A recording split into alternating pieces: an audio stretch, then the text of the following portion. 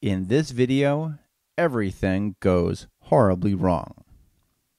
Or something like that. I in this video, uh, I'm going to try to make lots of mistakes so that when you make those same mistakes in writing your programs, you will recognize the errors and be able to figure out what it is that you did wrong. So let's start making some mistakes. One of the top two mistakes is a simple misspelling. I meant to write square, but I didn't. I wrote squay instead. I'm going to run this. It says this function is not defined. Okay. The first thing, I'm going to keep saying this. The first thing that you need to do when you see an error is to look at that piece of your program and think, what was that piece of the program supposed to do? Because you know, and DrRacket doesn't. Okay. So before you even read the error message, take a look and, and figure out what it was supposed to be doing. Oh, this thing was supposed to be uh, creating a square. Okay.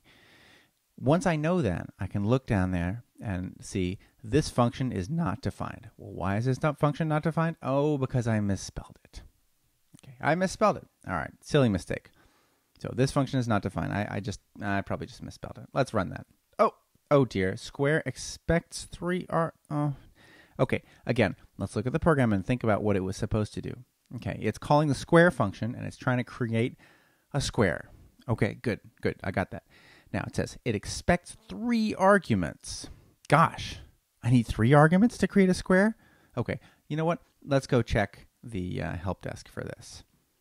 Help desk says that uh, in order to create a square, I'm supposed to have a side length. I provided that. Oh, I'm also supposed to have a mode and a color. Right, right, right, right, right. Mode and color. Oops.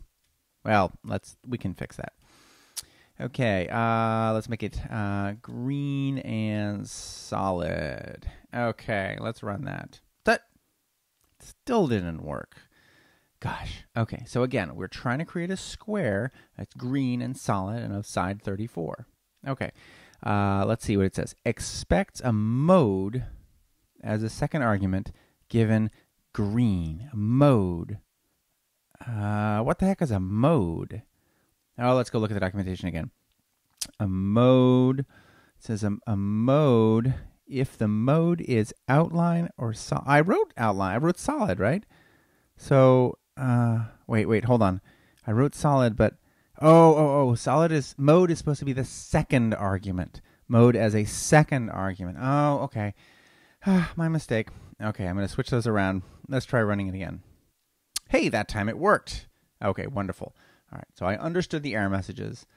I thought about what it was that it was supposed to be doing, and then I fixed it.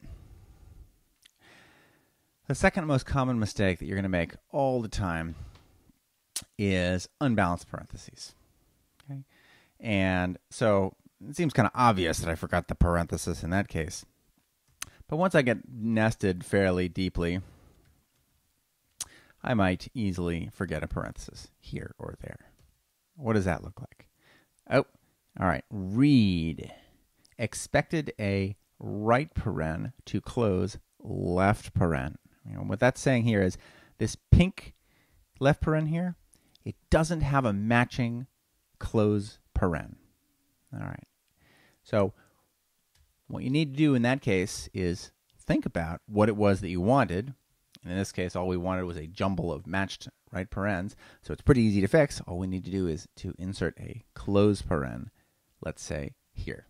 Given that this is meaningless, there isn't really a right place in which to place, place that parenthesis.